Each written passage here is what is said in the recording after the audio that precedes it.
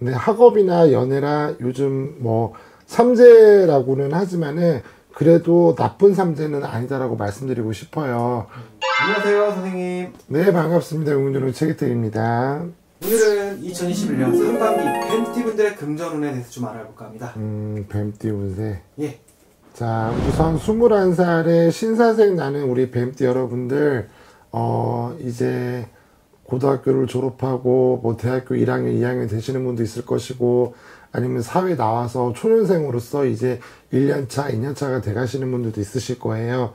근데 학업이나 연애나 요즘 뭐 삼재라고는 하지만은 그래도 나쁜 삼재는 아니다라고 말씀드리고 싶어요.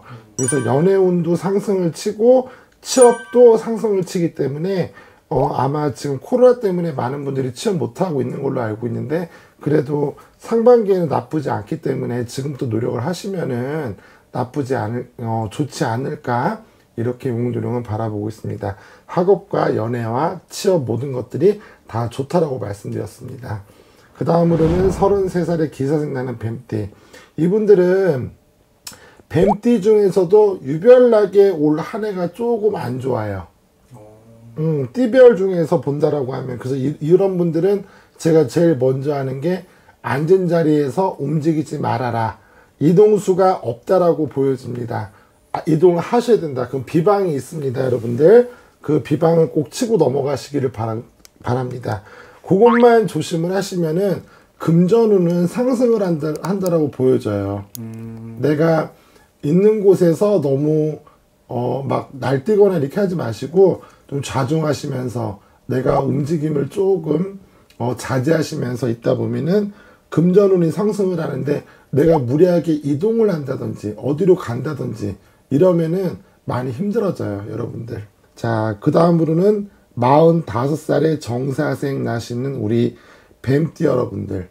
이분들 올해 삼재지만은 복삼재가 들어왔기 때문에 그동안에 힘들었던 것들이 지나가면서 자꾸 제복이 나한테 들어와요. 어떻게 들어오느냐. 나는 가만히 있는데 그냥 돈을 갖다 줘요, 사람들이. 나는 가만히 있는데 문서를 갖다 줘요. 응. 너 이거 해보지 않을래? 너 이건 어떻겠니? 자꾸만 이렇게 의뢰가 들어와요. 그러니까 이거는 뭐라고 얘기하죠? 귀인이 들어온다는 겁니다. 복삼재라는 얘기예요. 복삼재. 복삼재가 들어오기 때문에 자꾸만 어, 남이 나한테 뭐를 갖다 주려고 하는 거예요. 그래서 복삼재를 잘 짚고 넘어가면은 좋은 일이 생길 거다라고 말씀드리고 싶고요.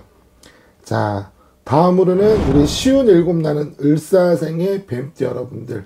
이분들도 삼재지만은 사주 안에 먹을 복과 식복이 아주 다양한 분들이세요. 이분들은 복삼, 그러니까 복삼재가 들어왔지만 행복한 고민을 많이 하셔야 되는 분들이에요. 내가 일로 갈까 절로 갈까 방황도 하지만은 그래도 어찌됐건 간에 우리 재물복이 상승을 한다는 거는 그만큼 좋은 거거든요. 그렇다고 뭐 건강적으로 이상이 있다거나 이러신 분들보다는 뭐 내가 봤을 때는 지금 여기 보이는 거로는 나가는 삼재가 복삼재가 들어왔으니 이 복을 잡아라. 그러면 좋은 일이 상승을 많이 할 것이다. 그래서 우리 쉬운 일곱 살 나는 을사생 뱀띠 여러분들은 올 한 해를 쥐락펴락 할 수가 있습니다.